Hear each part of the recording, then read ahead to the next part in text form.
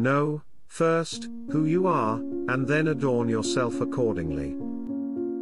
There is but one way to tranquility of mind and happiness, and that is to account no external things thine own, but to commit all to God. All religions must be tolerated. For every man must get to heaven in his own way. Any person capable of angering you becomes your master, he can anger you only when you permit yourself to be disturbed by him. Know, first, who you are, and then adorn yourself accordingly. He is a wise man who does not grieve for the things which he has not, but rejoices for those which he has. Events do not just happen, but arrive by appointment. Seek not the good in external things, seek it in yourselves.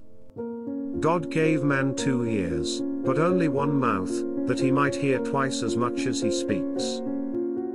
It is not so much what happens to you as how you think about what happens.